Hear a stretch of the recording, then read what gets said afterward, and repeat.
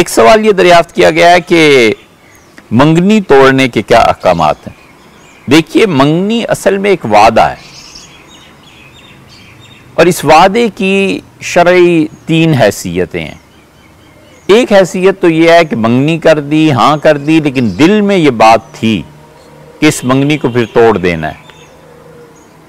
یہ منگنی کی گئی ہے اور پھر اس کو میں نے نہیں نبھانا اس وعدے کو۔ اس لڑکے کا رشتہ اپنے بیٹے کا یا نہیں کرنا؟ یہ بیٹی کا رشتہ یا نہیں کرنا؟ فی الحال کر رہا ہوں تو ٹھیک ہے، بعد میں اسے توڑ دوں گا۔ یہ حرام ہے، جائز ہی نہیں ہے۔ کبیرہ گناہوں میں سے ایک گناہ ہے۔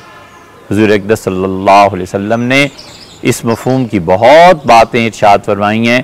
کہ ایک شخص کا ارادہ دل میں کچھ اور ہو اور زبان پہ کچھ اور ہو، دل میں ہے کہ یہ کام نہیں کروں گا اور زبان سے وہ اس کا اقرار کرے کہ میں کروں گا اور پہلے سے طے شدہ ہے دل میں کہ میں نے یہ کام نہیں کرنا اور اوپر سے اقرار کر لے کہ ہاں جی کر دوں گا ہاں جی آپ کی مدد کر دوں گا، یہ کر دوں گا، وہ کر دوں گا، تو دل کے اس ارادے کی وجہ سے وہ نفاق میں چلا جائے گا، یہ منافقت کا ایک شعبہ اس کے پاس آ جائے گا، یہ اس میں گھس جائے گا، یہ جائز نہیں۔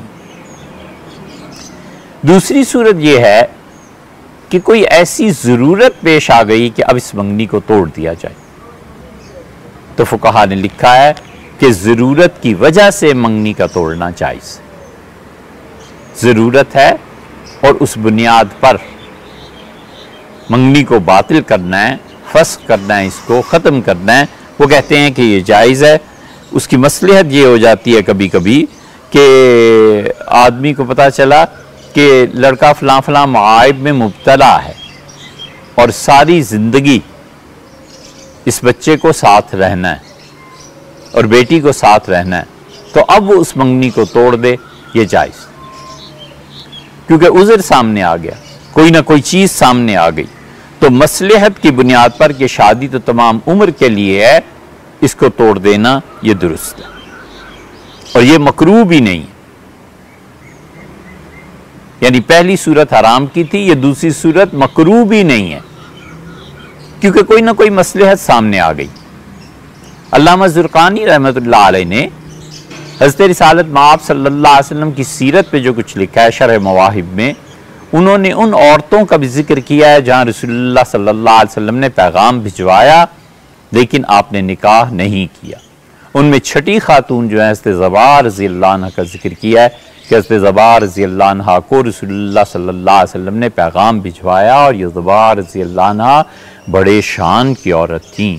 اتنی خوبصورت تھیں کہ ان کے حسن کا چرچا تھا ایک طرح سے معاشرے میں۔ پھر یہ مہاجرات میں سے بھی تھیں، ہجرت بھی کی تھی۔ حاجر نماک اللہ نے فرمایا ان عورتوں سے بھی نکاح کر لیں، کر سکتے ہیں۔ جنہوں نے ہجرت کیا، یہ اس میں بھی شامل تھیں۔ پھر بہت قدیم الاسلام۔ تھی اسلام کے بالکل ابتدائی دور میں انہوں نے اسلام قبول کر لیا تھا۔ اس اعتبار سے وہ اعلیٰ درجے کی مومنہ بھی تھیں۔ یہ سب کچھ تھا اور حضرت رسالت پناہ صلی اللہ علیہ وسلم نے انہیں نکاح کا پیغام بھجوایا۔ اور رسول اللہ صلی اللہ علیہ وسلم نے ان کے بیٹے سلمہ ابن حشام سے اس کا ذکر کیا۔ سلمہ نے کہا، اللہ کے رسول کیوں نہیں؟ میں اپنی والدہ کا نکاح آپ سے کر دوں گا، مگر میں ان سے بھی پوچھ لوں۔ تو چلے گئے اور عرض کیا تو انہوں نے کہا، بیٹے، میں حضور صلی اللہ علیہ وسلم کی بیویوں میں سے قیامت میں ہو کے اٹھنا چاہتی ہوں۔ جلدی کر، ایسے نہ ہو کہ رسول اللہ صلی اللہ علیہ وسلم کو کوئی اور چیز پیش آ جائے اور اپنے ارادے کو ملتوی فرما دے۔ پھر صحابہ کرام رضی اللہ عنہ نے عرض کیا رسول اللہ صلی اللہ علیہ وسلم سے کہ باوجود ان ساری خوبیوں کے بہت ان کا کی عمر زیادہ ہو گئی ہے، بوڑھی ہو گئی ہیں، بہت زیادہ عمر بتا دی ہے انہوں نے۔ تو رسول اللہ صلی اللہ علیہ وسلم نے خاموشی اختیار فرمائی اور نکاح نہیں کیا۔ تو اس لیے کبھی منگنی کو توڑنے کے لیے مصلحت پیش آ جاتی ہے، اس میں یہ مکرو بھی نہیں ہے۔ اور کوئی مصلحت بھی پیش نہ آئے، کوئی تقاضا بھی ایسا نہ ہو اور دل میں بھی نہ ہو، تو پھر مکرو ہے منگنی کا توڑ کیونکہ بہرحال ایک لڑکی کی منصوب تو ہوگی ایک لڑکا کی منصوب تو ہو گیا۔ اور ہماری سوسائٹی میں تو خاص طور پہ نہیں کرنا چاہیے، کیونکہ آنے والے پھر سب سے پہلے یہی پوچھتے ہیں کہ اچھا جی پہلے کوئی منگنی ہوئی تھی؟ اچھا وہ منگنی ٹوٹی کیوں تھی؟ اچھا وہ پھر لمبی تحقیق اس کی ہو جاتی ہے جو بسا اوقات لا یعنی ہوتی ہے اور بسا اوقات واقعی وہ کرنی پڑتی ہے۔ حتمی بات تو نہیں کی جا سکتی، لیکن بغیر کسی سبب اور وجہ اور مصلحت کے منگنی کا توڑنا مکرو ہے تنظیحی ہے۔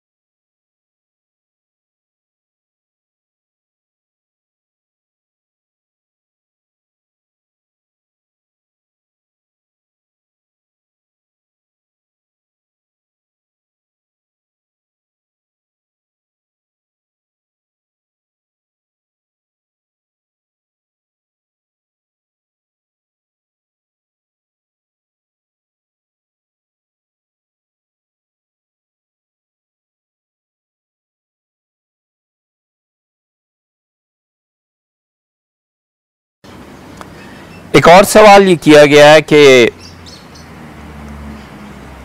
شادی کی عمر لڑکی کے لیے کیا ہے؟ دیکھیے، لڑکی کے لیے شادی کی کوئی عمر متعین نہیں ہے۔ شریعت نے بالکل نہیں کی۔ ام المومنین، حضرت عائشہ رضی اللہ عنہ کا نکاح حضرت رسالت معاب صلی اللہ علیہ وسلم سے بہت کم عمری میں ہوا۔ اور نکاح اللہ کی جانب سے تھا۔ آپ کو خواب میں بتایا گیا تھا۔ اب یہ بہت سے لوگ جو اس تحقیق کے ساتھ لگے ہوئے ہیں نا کہ ام المومنین حضرت عائشہ رضی اللہ عنہ کی عمر اس وقت اٹھائیس برس کی تھی، یہ سب وہ لوگ ہیں، یہ سب وہ لوگ ہیں جو اپنے مفروضات سے ثابت کرتے ہیں اس چیز کو، لیکن انہی کے سامنے جب بخاری کی اور وغیرہ وغیرہ کتابوں کی احادیث آتی ہیں، تو وہاں پہنچ کے کوئی چارہ کار نہیں رہتا، سوائے اس کے کہ وہ صحیح احادیث کو جھوٹ قرار دیں، غلط قرار دیں۔ اور امام بخاری رحمۃ اللہ علیہ اور دیگر محدثین پر یہ الزام لگائیں کہ انہیں غلط فہمی ہو گئی۔ جی یہ ساری روایتی جھوٹ پہ مبنی ہے ان کے پاس کوئی چارہ کار اور رہتا نہیں۔ ام المومنین رضی اللہ عنہ کی عمر اگر اس وقت اٹھائیس برس مان لی جائے، تو حضور اقدس صلی اللہ علیہ وسلم کے بعد وہ کتنا عرصہ زندہ رہی ہیں، یہ عمر پوری کرنا دشوار ہو جاتا ہے۔ اس لیے جتنے بھی لوگ ہیں جو ام حضرت عائشہ رضی اللہ عنہ کی عمر کو بڑا کر کے بتاتے ہیں، وہ سب کے سب آخر پہ پہنچ کے حدیث کے انکار کرنے پہ مجبور ہو جاتے ہیں، چاہے اپنی خوشی سے کریں اور چاہے اس سے، اور ان میں وہ لوگ بھی شامل ہیں جو سرے سے حدیث کے منکر ہیں۔ حدیث کو مانتے ہی نہیں۔ تو پھر اسی حدیث کو الٹی طرف سے پھیر کے لاتے ہیں اور کہتے ہیں تمہاری حدیثوں میں تو یہ بھی آیا ہے، تمہاری حدیثوں میں تو یہ بھی آیا ہے۔ اور یہ گمراہ اپنی بحث کو شروع ان چیزوں سے کرتے ہیں کہ جن احادیث میں جنس اور اس سے متعلقہ چیزیں آئیں۔ بالعموم وہ باحث میں یہی لاتے ہیں تاکہ انکار حدیث کا دروازہ کھلے۔ اور دوسرا آدمی متاثر ہو کہ یار یہ ہماری روایات میں ہے۔ بھئی حضور اقدس صلی اللہ علیہ وسلم نے جو نکاح کیا، یہ خود سے کیا تھا یہ اللہ نے کروایا تھا؟ سیدھی طرح کہو، اللہ تعالیٰ نے معاذ اللہ، استغفر اللہ، یہ جو کام کیا یہ ٹھیک نہیں تھا۔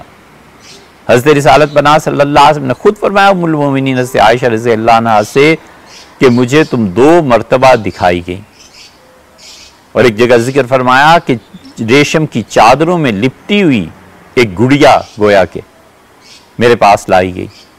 تو میں نے ریشم کی چادروں کو ہٹایا تو وہ عائشہ تھی۔ اور رسول اللہ صلی اللہ علیہ وسلم، عائشہ مجھے یہ خواب میں دکھایا گیا اور میں پھر چپ ہو گیا اور میں نے کہا جو اللہ کو منظور ہو جائے گا۔ حضور صلی اللہ علیہ وسلم میں بھی اللہ تعالیٰ کی طرف کہ جو اللہ کو منظور ہو جائے گا۔ کسی سے ذکر نہیں نہیں کیا خواب کا۔ اور بعد میں ام المومنین رضی اللہ عنہ کو بتایا کہ تمہیں میں نے اس اس طرح سے دیکھا۔ یہ وہ چیز ہے۔ اس لیے شریعت نے کوئی عمر متعین نہیں کی۔ کم عمر بچیوں سے بھی نکاح ہو سکتا ہے، زیادہ عمر کی بچیوں سے بھی نکاح ہو سکتا ہے۔ ایک بات۔ دوسری بات یہ ہے اصولی طور پہ کہ ہماری آج کی اس سوسائٹی میں لڑکیاں جب تک بالغہ نہ ہو جائیں، جب تک بڑی نہ ہو جائیں، نکاح نہیں کرنا چاہیے۔ ہماری یہ سوسائٹی، ہمارا یہ معاشرہ ان چیزوں پر عمل کرنے کے اب قابل نہیں رہا اور اگر ایسے کیا جائے گا تو معاذ اللہ آج کے دور میں کتاب و سنت کی بات نہیں کر رہے۔ آج کے دور میں اس بچی کے ساتھ یہ ظلم ہوگا کیونکہ لوگوں میں تعلیم نہیں ہے، شعور نہیں ہے۔ ہمارے اس دور میں ایسی کوئی چیز نہیں کرنی چاہیے۔ فتویٰ جو وقت اور حالات کے ساتھ تبدیل ہوتا ہے نا، اس میں سے ایک بات یہ ہے کہ ہمارے دور میں نہ کسی کو اجازت دینی چاہیے، نہ خود کرنا چاہیے۔ اسی معاملے میں تیسری بات۔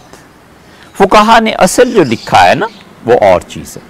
فکہ کہتے ہیں کہ جس نے نکاح کرنا ہے، مرد نے اور عورت، ان دونوں کی جسمانی حالت کا اندازہ کر کے قاضی فیصلہ کرے گا۔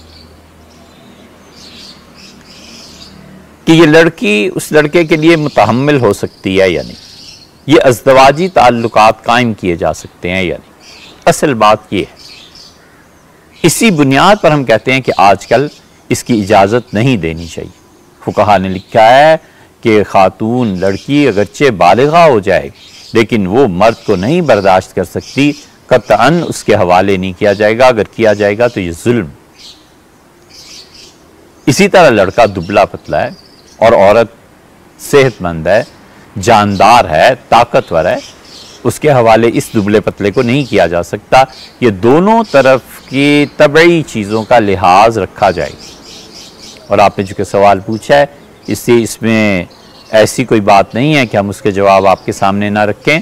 فکہ نے لکھا ہے کہ لڑکی اگر اتنی دبلی پتلی ہے کہ وہ مرد کو نہیں سہ سکتی تو نکاح کو قاضی باطل قرار دے۔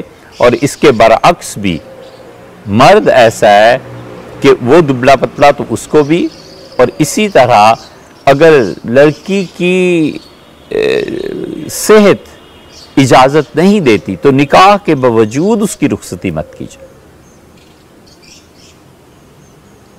اور فکہ نے اسی میں لکھا ہے کہ قاضی کو اس حد تک اجازت ہے کہ اگر مرد کے جنسی اعضاء غیر معمولی ہیں اور لڑکی اس کی متحمل نہیں ہو سکتی، تو نکاح ہونے کے باوجود لڑکی کی رخصتی نہیں کی جائے گی، یہ کرنا ظلم ہوگا۔